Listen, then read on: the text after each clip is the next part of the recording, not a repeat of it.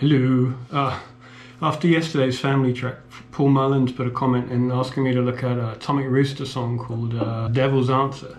And it's, it was from 1970. So, uh, yeah, I didn't know that one either, so I just listened to it. That it should, should be a fairly quick one. Paul, uh, it's.